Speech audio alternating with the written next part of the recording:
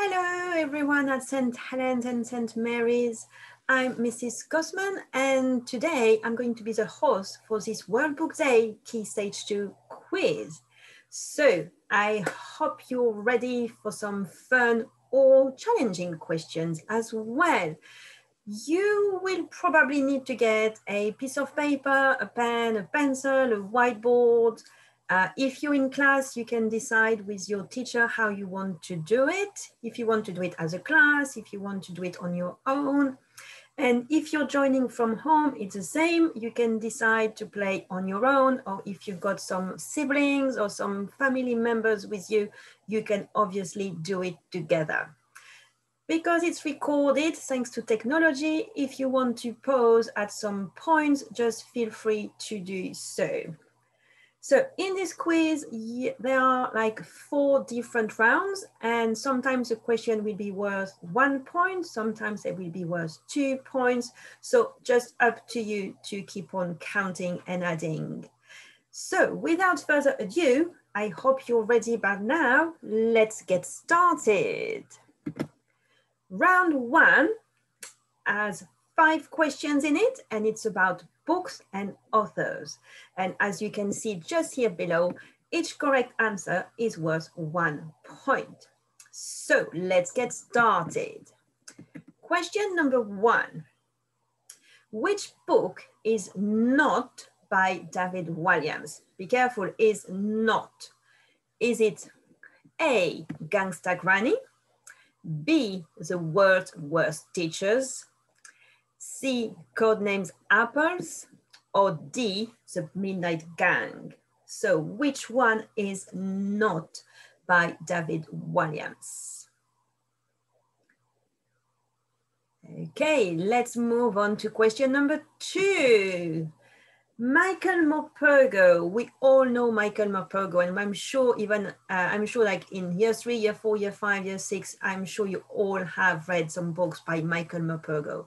So does he write books mainly about A, comedy, B, science fiction, C, witches and wizards, or D, adventures in real places? Hmm. I'm sure you know. I don't know why I doubt. I'm sure you've got it correct. So well done already. Let's move on then to question three. Oh, this one is very challenging. Maybe I should have given you another point for this one. So question three.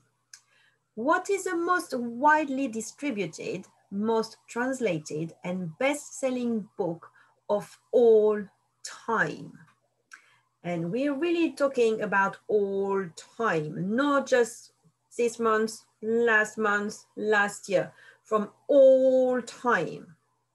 Is it Harry Potter? Answer A. Alice in Wonderland? Answer B. The Bible? Answer C. Or Oliver Twist? Answer D. Okay, that's probably a very challenging question. So let's check later how you did with this one. Let's move on to question four. In which series do we meet Julian, Dick, Annie, Georgina, and their dog Timmy? Are they part of A, The Famous Five, B, Harry Potter, C, The Secret Seven, or D, Narnia?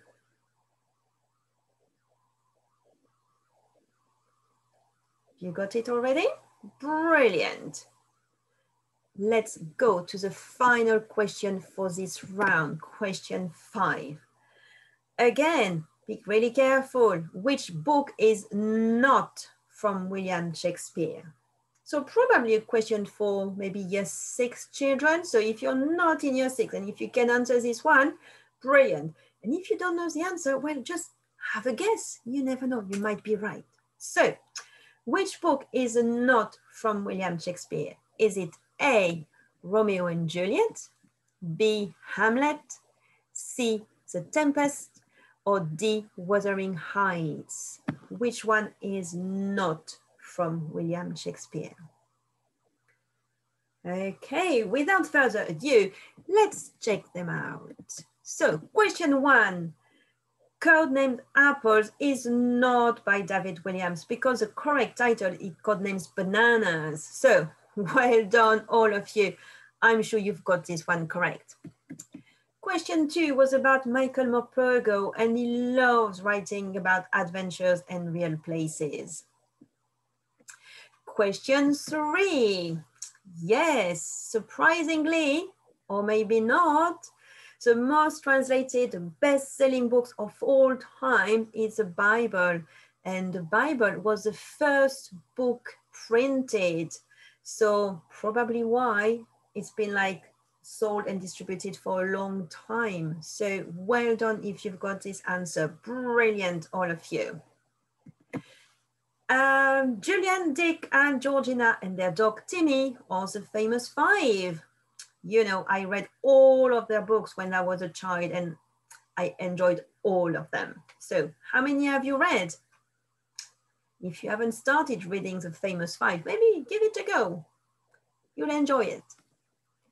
And question five, which book is not from William Shakespeare? It's Wuthering Heights, which was written by Emily Bronte. So well done. So remember, one correct answer equals one point. So how many did you get? If it's a five out of five, brilliant. And if you don't have a five out of five, brilliant anyway, because you joined in. And this is the most important thing. And also I hope you're having fun because the point of a quiz is to have lots of fun. Let's move on then to round two, characters and animals. And in this round, each correct answer will be worth two points. Are you ready? Characters and animals. Some will be easy, some other question will be probably a bit more challenging. Let's check that. Paddington Bear. You all know Paddington Bear, but where is he from? Is he from Brazil? A. B. Peru. C. Argentina. Or D. From Chile? You got it? Brilliant. Let's move on. Question two. What are the characters created by Roald Dahl? Are they the twins, the twirls, the twist, or the twits? I suggest maybe you pause the video and you read it carefully. I kind of tried to be a bit cheeky on this one. So the twins, the twirls, the twist, or the twits.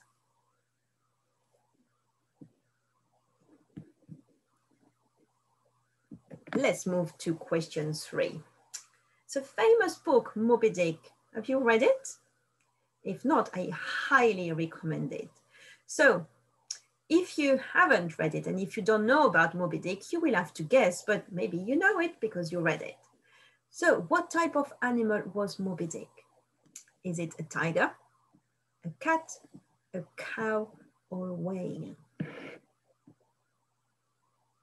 Just guess if you don't know. You might be right. Let's move forward to question four. Which character goes to Hogwarts School? Is it A, Charlie, B, Supertato, C, Horrid Henry, or D, Harry Potter? I'm sure this one will be 100% correct. Don't make me wrong. Finally, let's move to question five, the final question for this round. What is the name of the main character in Wonder by R.J. Palacio? What is the name of the main character in Wonder? Maybe you didn't read the book or haven't read it yet, but maybe you've seen the movie. So in this book or in the movie, the main character is Jack or Auggie or Julian or Amos? What do you think? Okay, let's go and check all the answers. Remember, each correct answer is worth two points. And we start with Paddington Bear, who is from Peru. So a lovely country in South America. So Paddington Bear is from Peru for two points. Then Roald Dahl created the Twits. I'm sure you've you've read this one because you're key stage two. But if you haven't read this yet, I really highly recommend this one. You will have a good laugh. Question three, Moby Dick is a whale. Another highly recommended book. Go and grab it from the library. Oh, no, they're closed, obviously, but when they reopen, or maybe you can find it in your school library. Question four, Harry Potter goes to Hogwarts School. 100%, I said, I hope I'm correct. Brilliant, whoever is watching it.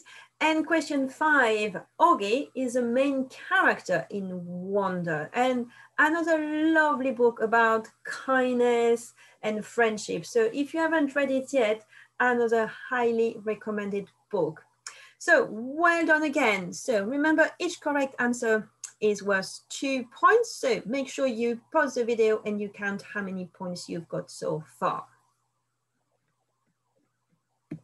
And here we come together for round three. So round three is a bit of different questions about reading. That's why it's called miscellaneous. And each correct answer is worth three points in this one, three points, because some are probably kind of challenging. So without further ado, let's try.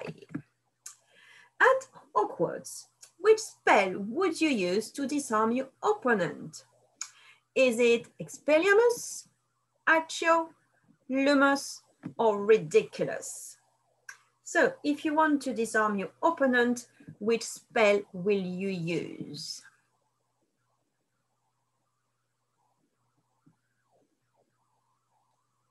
You ready? Okay, let's move on to question two.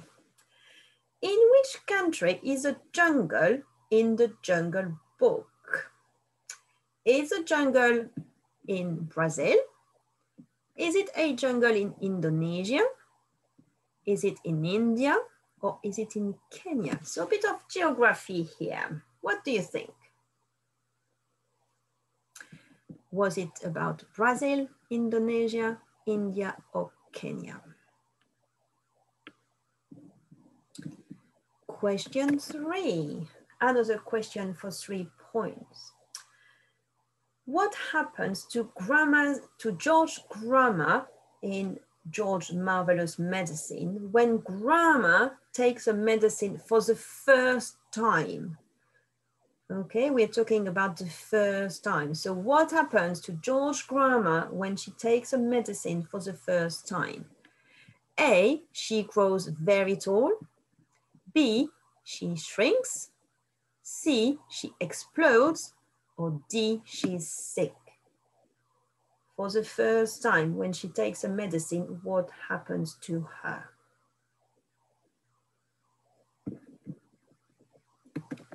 Question four. I've got a quote from you, uh, for you here, but let's try to find out which book it's from. The quote is the following. People laugh at me because I use big words, but if you have big ideas, you have to use big words to express them, haven't you? So this is a quote from which book? Charlotte's Web, Anne of Green Gables, The Secret Garden, or Matilda?